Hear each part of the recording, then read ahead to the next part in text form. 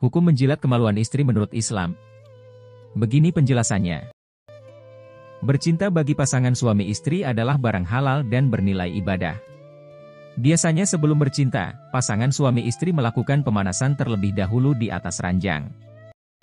Pada beberapa pasangan, ada yang menjilat organ kewanitaan pasangannya. Pertanyaannya, apa hukumnya menurut Islam?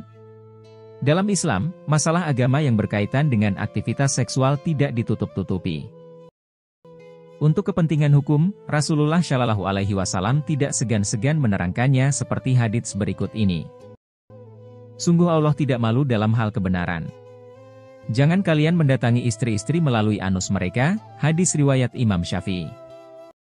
Bahkan, hubungan suami istri ditemukan dalam Al-Quran, terutama di surah Al-Baqarah.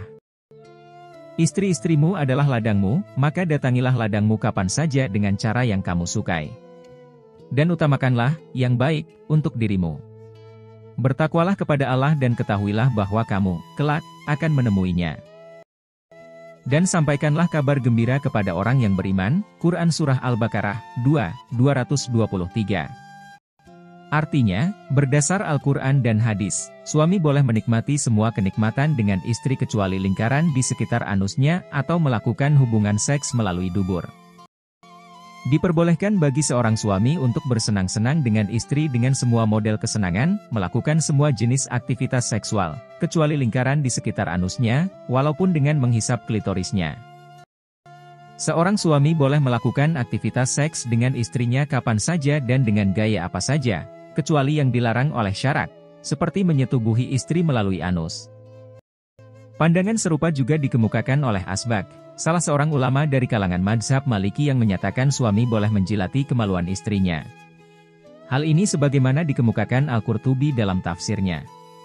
Artinya, Asbak salah satu ulama dari kalangan kami, madhab maliki, telah berpendapat, boleh bagi seorang suami untuk menjilati kemaluan istri dengan lidahnya, lihat Al-Qurtubi, Al-Jami, Li Ahkamil Quran, Kairo Darul Hadits, 1431 H 2010 M, Juz 12, halaman 512.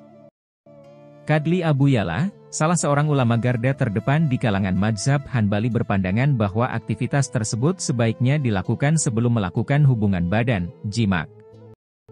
Demikian sebagaimana keterangan yang terdapat dalam kitab Kashful Muhdirat war Riyadlul Musirat li Syarhi Asaril Muhtasyarat, yang ditulis oleh Abdurrahman bin Abdullah Al-Ba'ali.